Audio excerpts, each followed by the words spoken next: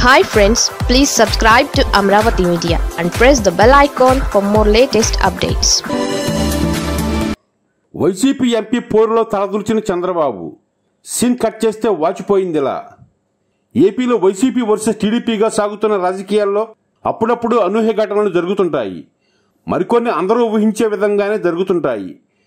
కానీ ఏ పార్టీ అయినా ఆ పార్టీకి సంబంధించిన నేతలను పొగిడినా తెగిడినా అందులో ఆశ్చర్యం లేదు. కానీ పక్క పార్టీల వాళ్ళు అదే పని చేస్తే ఆ వ్యవహారం ఖచ్చితంగా వార్తల్లోకి ఎక్కుతుంది. ఇలాంటిదే తాజాగా ఓ ఘటన చోటు చేసుకుంది. ఇందులో చంద్రబాబు ఇరుక్కున్నారు. గత సార్వత్రిక ఎన్నికల్లో వైసీపీ ఏపీలో భారీ ఎత్తున ఎంపీలను గెలుచుకుంది. అయితే గెలిచిన తర్వాత ఆ పార్టీ ఎంపీలు పలువురికి పరస్పరం పొసగడం లేదనే ప్రచారం కూడా ఉంది. ఇందులో వైసీపీ రెబల్ ఎంపీ రఘురామకృష్ణరాజుకు మిగతా ఎంపీలతో అసలు పొసగదనే విషయం మాత్రం అందరికీ తెలిసిందే. దీంతో రఘురామ విషయంలో వారు దూకుడుగా వ్యవహరిస్తుంటారు. ఇక మిగతా పార్టీల నేతలు మాత్రం రఘురామకు కాస్త అంటకాగడం కూడా సహజంగానే జరుగుతోంది. ఇదే క్రమంలో తాజాగా పవన్ కళ్యాణ్ రఘురామకు అండగా నిలుస్తుండగా ఇప్పుడు చంద్రబాబు కూడా అదే బాట పట్టారు. వైసీపీతో విభేదిస్తున్న రెబల్ ఎంపీ రఘురామకృష్ణరాజుకు ఇప్పటికే టీడీపీ అండ ఉందని అంతా భావిస్తుంటారు. వైసీపీ నేతలు కూడా అనేకసార్లు ఇవే ఆరోపణలు చేశారు.